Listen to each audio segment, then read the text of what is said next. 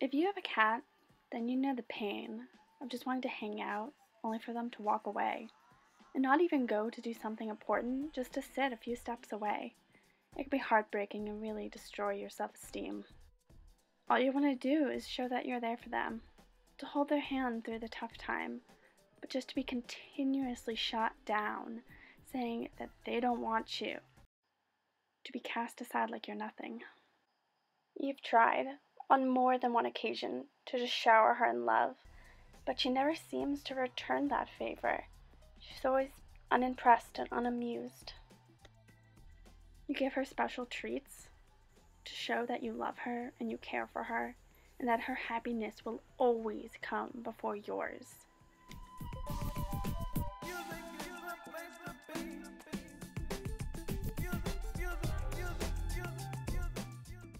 It's that feeling of victory when she finally accepts what you're trying to give her, which is love, only to find out mere moments later that it wasn't you that she loved and, and accepted.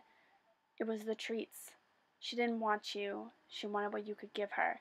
Now that you don't have anything for her, well, she doesn't want you. You realize that you need something a little stronger, a little bigger.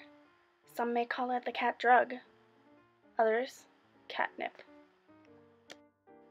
Attracting a cat is a lot like attracting a human.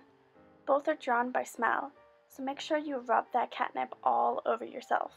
In fact, just dunk your face right on into that catnip. Let it sink all the way into your pores.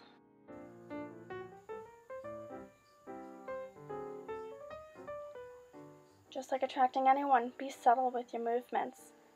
And when they reject you, try not to cry. It may take some time, but eventually you'll find that spot. And once you find that spot, never let it go, because that is truly the only place where she will always love you.